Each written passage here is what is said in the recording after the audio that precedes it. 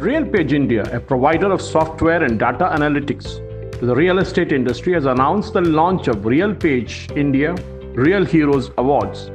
ఆ real page ఇచ్చినటువంటి వాళ్ళు చేసే ప్రతి పని నా గుండెలో ఒక ఒక బాణంలా కుచ్చుకుంటుంది ఎలా అంటే వాళ్ళు ఒక ప్రోగ్రామ్ స్టార్ట్ చేస్తే ముందుకెళ్ళి పిల్లలకు ఉపాధ్యాయులకు మేమందరం కూడా హార్ట్గా ఫీల్ అవుతున్నాం ఎలా ఉంటుందంటే ఎందరో దాతలు ఉంటారు ఏమో చేస్తుంటారు సమయాన్ని ఇవ్వరు ఏదో కాలక్షేపం చేస్తుంటారు కానీ ఒక విద్యా వ్యవస్థ కంటే ముందుకొచ్చే వాళ్ళు మాత్రం ఒక యునైటెడ్ వే సంస్థ నుండి పరిచయం ఉన్నటువంటి రియల్ పేజ్ని గర్వంగా చెప్పుకుంటున్నాను a program that highlights the importance of giving back to communities by honoring organizations and individuals who are making a difference in the lives of the underprivileged people today.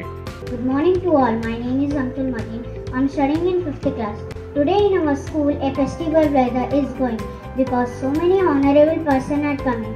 I want to say some words about my school. When I'm joining in my school, we don't have sufficient facilities like that water problem, toilet room problem, and playground problem. We are sitting on the floor. Notebooks problem.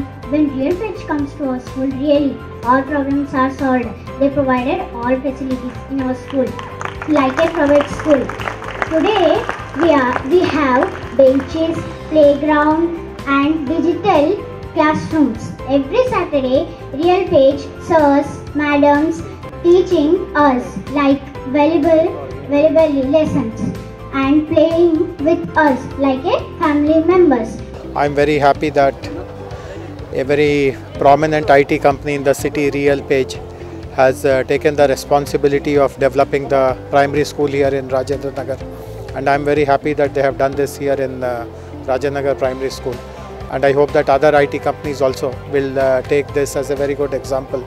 And this will be emulated in other schools by other IT companies also. Uh, and RealPage really has um, has succeeded brilliantly in its, uh, its corporate social responsibility.